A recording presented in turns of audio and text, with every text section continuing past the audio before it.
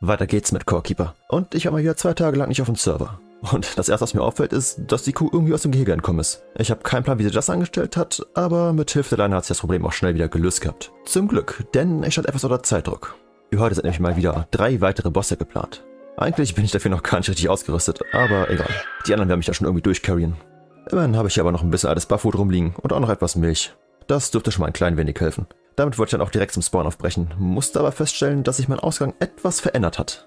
Also habe ich auch nochmal schnell am Kartentisch vorbeigeschaut, um schon mal die Karte zu aktualisieren. Wirklich viel Zeit mir alles anzugucken hatte ich aber nicht, denn die anderen waren mittlerweile auch schon da und wollten los zum Boss. Am Spawn habe ich dann auch nochmal einen Nanai getroffen, der mir ja schon in der vorletzten Folge einen Teil der Fischerrüstung gegeben hatte. Und diesmal hat er sogar noch den Rest dabei. Jetzt habe ich das komplette Fünfer-Set, ohne auch ein einziges Mal geangelt zu haben. Auf jeden Fall vielen, vielen Dank nochmal dafür. Ich werde das Fishing-Set leider auch noch ausgiebig benutzen. Jetzt geht's aber erstmal zum Boss. Als erstes auf dem Plan stand Ivy, der giftige Großschleim aus dem Arceus-Biom.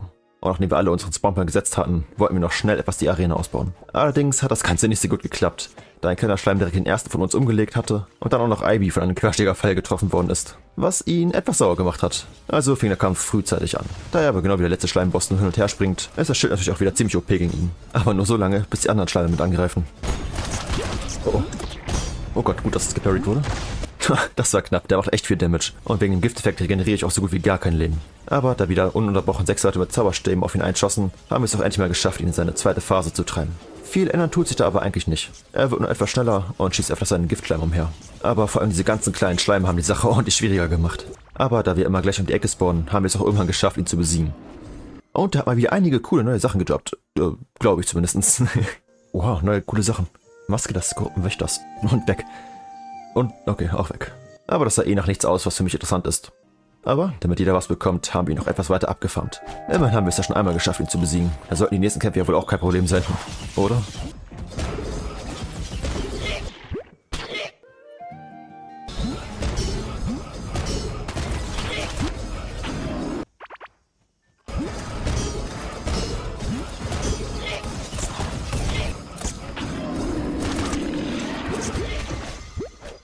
Naja, das lief jetzt nicht optimal, aber immerhin haben jetzt alle, was sie wollten. Also können wir zum nächsten Boss übergehen, den Schleimkönig. Der sollte aber eigentlich um einiges einfacher sein, was er auch war.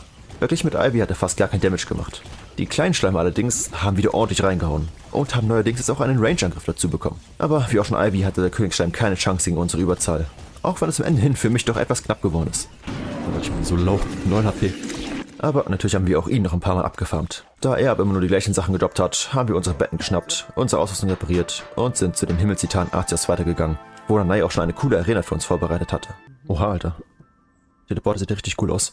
Ja, ich habe ein bisschen gebastelt. Wie gesagt, kann sie ja eine Farmer so gut. Und hat jeder am Bett da und in der Truhe sind halt für die Nahkampf-Dinger da äh, Drama Futter drin. ich passe nicht ins Bett rein. Oh ja. ja die Puddings sind nicht schlecht. Ich habe noch keine goldenen Pflanzen, daher bringen die relativ viel. Dann nimmt welche Farbe? Ich nehme gelb. Ich komme nicht ins Bett rein. Das meine ich. Das habe ich ja geil gebaut. Mein Bett ist Dreck.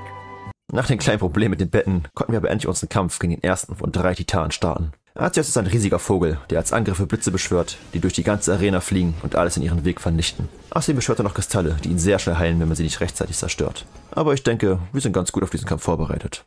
Ja, okay, dann let's go, würde ich sagen. Ja, immer Haken. Ach, der sieht gleich los, der macht gar keine Faxen, oder was? Oha, Der macht schon Faxen, aber. die Animation geändert. Ja, Boden ist weg. Schade. Die, die Blitze sind neu. Ja, die sehen anders die aus. sehen irgendwie. aber besser aus als vorher, die lecken die so rum, oder kann das sein? Viel besser aus. Ja, die trifft auch einen nicht mehr so sehr, obwohl man dazwischen ist. Also. Alle. Oder das spawnt ja viel mehr von denen, wenn man zu Ja, ja, weil, weil so ist. sind, ne?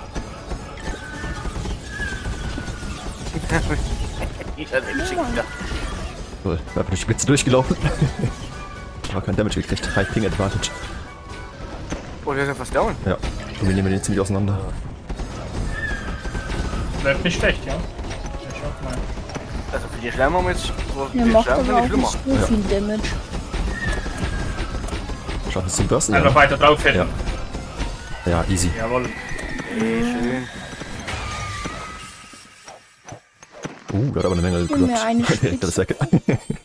Oh, was ist denn jetzt so passiert? Was ist das? Ah, das ist die Feder, die wolltest du doch, oder? Nee, wer wollte Ich die? mag Feder. Ach so, wie lange haben wir einen Cooldown? Ach stimmt, das habe ich auch komplett vergessen. Zehn, zehn Minuten, denke ich. Also ich meinte es, zehn Minuten waren es. Okay. Leider. Wenn es eigentlich, also es wäre jetzt auch nicht ein Problem, wenn man die genauso wie die Slime einfach die ganze Zeit machen könnte. Ja, schade.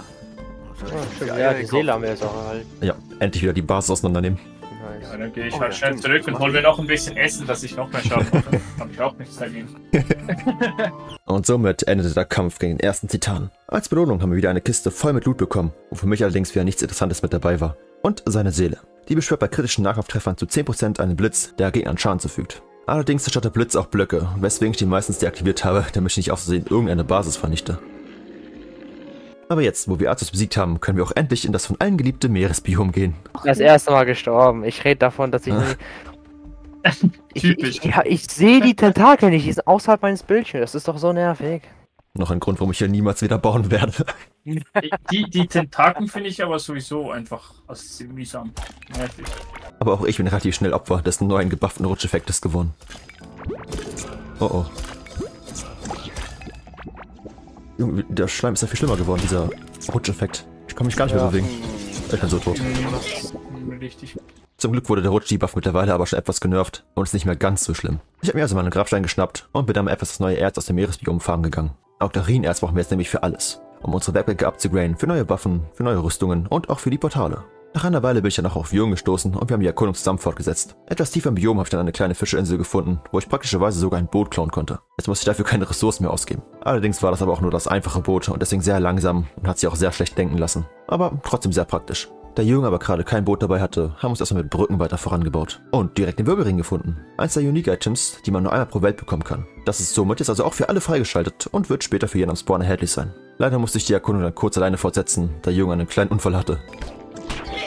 Und bin dann auf einen Wasserdungeon gestoßen. Dort kann man einige starke neue Sachen bekommen, zum Beispiel die Ankerachs aus Truhen oder das Wächterschild von diesem lebendigen Statuen. Leider hatte ich aber kein Glück. Aber immerhin war Jürgen wieder da und hat mich beim Kampf unterstützt. Einer der gelehrten Käflinge hat dann auch seinen Zauberstab gedroppt, der direkt Jürgens alten Zauberstab ersetzt hat. Leider hatten wir aber keine Chance, den neuen Stab auszuprobieren. Na. Ja, haufenweise Magier.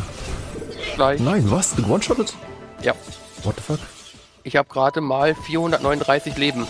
Hast du dir die Sachen aus dem Spawn genommen? Aus der Spawnkiste? Das habe ich schon Mit genommen und schon gegessen.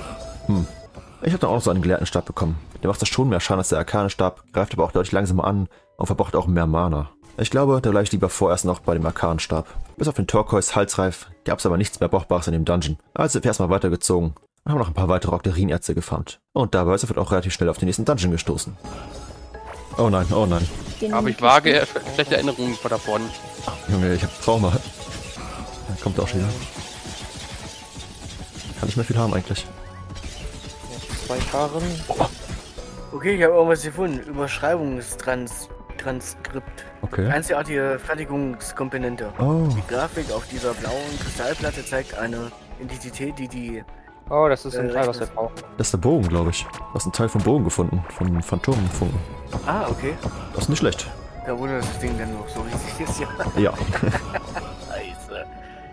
Dann markier den gleich auf der Karte, damit wir wissen, bei welcher Koordinate das ist. Nein, Junge. Wir müssen nämlich noch zwei weitere von diesen großen Tempeln finden und dann können wir uns den Bogen schon herstellen. Wir hatten aber leider nicht so viel Glück wie in der Nei, denn unser Dungeon war relativ unspektakulär. Tja, Ich glaube, das war's hier drin. Wir hatten kein Glück mit der Kammer. na gut, die haben noch in der Mitte eine ganze Menge, was wir nicht erkundet haben. Oder es sei denn, du warst da schon. Bis jetzt noch nicht.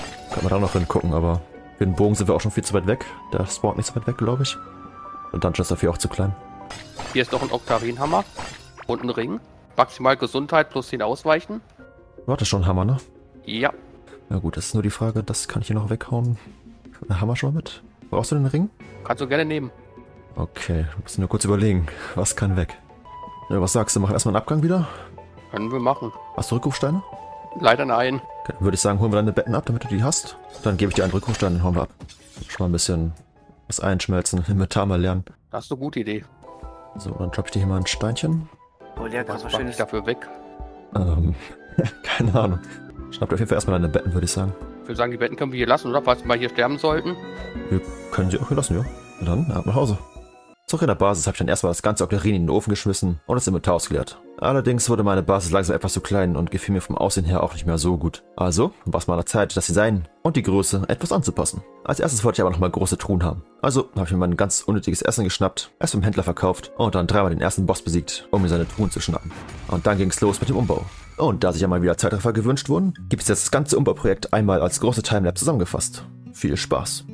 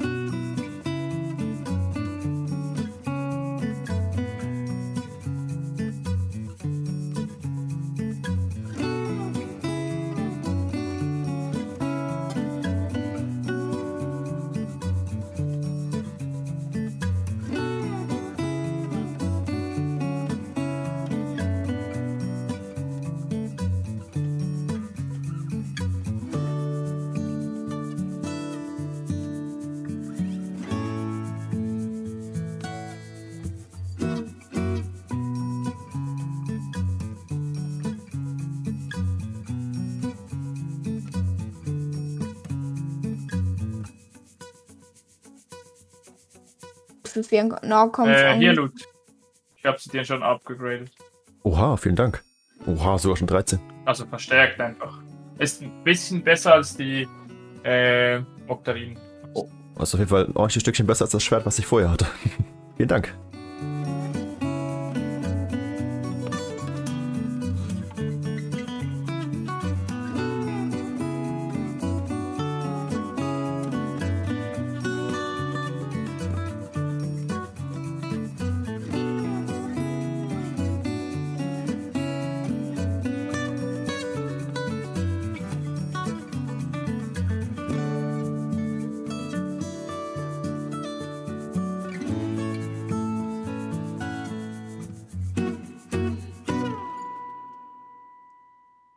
So, hat ordentlich gedauert, aber jetzt ist alles mal sortiert und ich habe hier auch generell mehr Platz. Das ist natürlich nicht die finale Basis, aber sie wird mich erstmal durchs Midgame bringen. Wie ihr an den goldenen Pflanzen schon sehen könnt, bin ich auch endlich mal im Kärntnerscape um Level 80 geworden und habe jetzt auch endlich mal die Chance, diese anzupflanzen. Das wird in Zukunft nochmal ordentlich unsere Foodblast boosten.